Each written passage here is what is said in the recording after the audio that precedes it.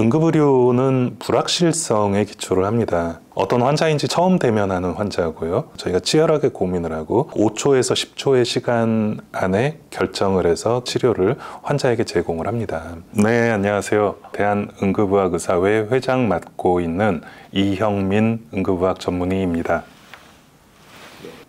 사법 리스크는 저희에게 되게 큰 부담이다라고 이야기를 드릴 수 있습니다. 이전에 분당에서 있었던 횡격막 화나 사망 사고부터 시작을 해서 어, 지난 12월에는 이제 여러 가지 판결들이 집중이 되었던 시기입니다. 대표적으로 이제 대동맥 박리 전공의 1년차가 CT를 찍지 않아서 진단을 하지 못했다. 예, 결국은 수억 원의 민사소송 배상을 했음에도 불구하고 결국은 대법원 판결이 확정이 돼서 면허 취소가 된 건 있습니다. 또 어, 올바르게 심폐소생술을 시행했음에도 불구하고 이제 그것을 간호 기록을 제대로 남기지 않았다, 뭐 모니터링을 제대로 했느냐라는 부분에 대해서 또 5억에 가까운 민사 소송이 있었던 부분. 또 어, 대기실에서 환자가 기다리다 사망을 했는데 그것이 어떤 응급의료 체계의 뭐 문제라는 어떤 이런 보도. 이제 이런 것들을 계속적으로 저희가 지적을 하면서 응급의료에 대해서 그런 식으로 과도한 판결을 하는 것이 과연 국민들이 원하는 정의이고 이 나라 의료를 발전시키는 어, 개혁의 방향이냐 저희는 그것이 아니라고 생각을 했기 때문에 이제 그런 식으로 과도한 판결이 지속되다 보면 필수 의료는 더 위축될 수밖에 없고 저희가 할 수 있는 그런 어, 소신에 의한 의료는 어, 차츰 멀어지기 때문에 이제 그런 부분들을 개선하고자 이제 그런 기자회견을 기획을 하고 실행했었던 것입니다. 그 자리에 있었다면 누구도 피해갈 수 없다. 응급의료는 불확실성에 기초를 합니다. 일단 어떤 환자인지 저희가 어, 처음 대면하는 환자고요. 심지어 다니던 환자가 아니라 처음 온 환자일 수도 있습니다. 되게 다양한 증상을 가지고 오고요. 그래서 저희가 하는 응급 의료는 어떻게 보면 교과서적인 어떤 ABC 순서대로 차근차근 갈 수 있는 그런 것이 아닙니다. 필요하다면 이런 것도 해보고 저런 것도 해보고 지금 단계에서 필요한 어떤 것이 있을지에 대해서 저희가 치열하게 고민을 하고 어, 당장 어, 5초에서 10초의 시간 안에 결정을 해서 그런 치료를 환자에게 제공을 합니다. 어, 환자가 숨을 못 쉬면 당연히 숨을 쉬게 도와줘야 되겠죠. 숨을 쉬지 못해서 기도삽관을 했습니다. 그리고 심장이 멎어가는 환자에게 심폐소생술을 했습니다. 이거는 응급학과 의사로서는 너무나도 당연한 접근이고 그 자체가 늦어진 것도 아니고 제대로 안 한 것도 아닌데 의무 기록이 뭐 제대로 작성되지 않았다라는 이유로 5억의 판결을 받는다. 사실은 이런 것은 누구도 피해갈 수 없는 그런 일들이라는 거죠. 어, 대동맥박리 사건만 해도 그렇습니다. 흉통으로 왔어요. 그러나 CT를 찍을까 말까 고민을 하다가 CT를 안 찍었습니다. 근데 법원에서는 그때 CT를 찍었으면 대동맥 박리를 진단했을 것이고 대동맥 박리를 진단했으면 수술이 제대로 됐을 것이고 이 환자가 제대로 살았을 것이다라는 결론을 가지고 있단 말이죠. 하루에 흉통 환자가 뭐 10명, 20명씩 오는데 집에 가는 환자가 거의 대부분입니다. 그렇다면 그 사람 중에 집에 가서 상태가 나빠졌을 때 우리가 그 모든 책임을 다 질 수 있느냐. 결국은 시간이 지나면 모든 사람들이 그런 문제에는 다 걸릴 수밖에 없는 문제이다라는 취지에서 그런 식으로 제가 발언을 했었습니다. 중재위원회 작년 자료를 봤어요. 응급의학과 관련한 소송이 평균 8억이더라고요. 제가 1년 동안 보는 응급 환자가 보통 한 3,000명에서 4,000명 정도 됩니다. 그러면은 어, 3,000명에서 4,000명을 보는 동안 아까 말씀드린 대로 응급의료라는 특성을 감안한다면 그렇다면 누구도 피할 수 없는 일이고 어, 이런 부분들이 시간이 갈수록 더 심해질 것이다. 게다가 앞으로 해결될 방법이 없다라고 한다면 사실 미래는 암울한 것이죠.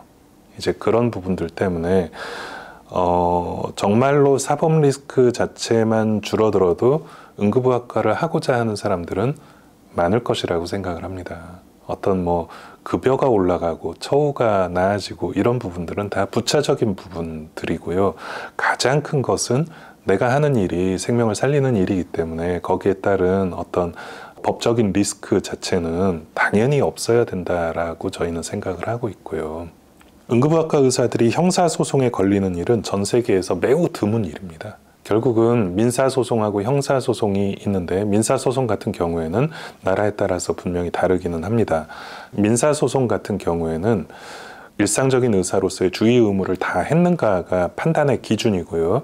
그러니까 누가 보더라도 해야 할 일을 하지 않았다던가 어떤 의사라도 이 정도를 했을 것 같은데 그 부분을 제대로 하지 못했다라는 부분에 대해서 민사소송을 제기를 하는 것이고요. 형사소송 같은 경우에는 원인과 결과가 명백해야 합니다. 내가 어떤 의도를 가지고 이 사람을 해하려는 의도를 가지고 결국은 그 행동이 이 사람한테 해를 끼쳤다라는 것이 인정이 돼야 되는 부분인데 기본적으로 저희가 하는 의료 행위는 이 사람에게 해를 가하려는 행동이 아닙니다. 물론 결과적으로는 해가 될 수 있습니다. 의료라고 하는 것이 그렇습니다. 특히 이제 응급의료라고 하는 것이 침습적인 어떤 술기들도 많고 몸에다 무엇인가를 집어넣는 술기들도 많고 또 하지 않으면 당장 사망을 하기 때문에 어쩔 수 없이 급박하게 준비가 부족한 상태에서 하는 것도 맞습니다. 그러나 이제 그런 행동이 이 사람을 해할 의도이냐 아니냐가 되게 중요한 부분이거든요. 외국에서는 그런 어떤 인과관계 입증이 불가능하기 때문에 기소 자체가 되는 경우가 극히 드문 드뭅니다. 근데 우리나라 같은 경우에는 의사로서 한 행동이 결과가 나빴다면 의사에게 책임을 지우는 그런 어떤 어, 기본적인 그런 컨센서스를 가지고 있기 때문에 저는 이 부분이 어, 법조계에 있는 친구들하고 얘기해 보니까 그런 얘기 하더라고요. 의사들만 고소 많을 것 같아? 우리나라 사회 전반적으로 고소 고발이 너무 많다라고 그 친구들은 이야기를 하더라고요. 다른 부분에 대해서는 잘 모르겠습니다. 억울한 것은 인정을 합니다. 그러나 그 억울함을 치료를 담당한 의사에게 전가를 하는 사회적인 분위기는 분명히 잘못됐다라고 생각을 합니다. 전문가에 대한 판단이 존중되는 사회가 선진국이라고 생각을 합니다. 사람을 고치는 일은 자동차를 고치는 일과는 다르다라고 생각을 해요. 혈압이 낮아도 우리가 혈압을 올리지 말아야 할 때도 있고요. 산소가 높아도 산소를 낮추지 않아야 될 때도 있고요. 이제 그런 순간적인 판단과 이것이 환자에게 도움이 될 것인가에 대한 판단은 매우 전문적인 부분입니다. 그냥 혈압을 높이는 약을 쓰지 않아서 혈압이 낮아서 죽었다라는 사실만을 가지고 판단을 하게 된다면 어, 논리적으로는 맞을 수 있지만 현실적으로는 그것이 맞는 이야기가 아니라는 것이죠. 결국은 그것을 판단하기 위해서 의사라고 하는 전문직이 존재를 하는 것이고요. 만약에 그 가치 자체를 인정하지 않는다면 AI가 환자 진료하는 사회로 만들어야죠.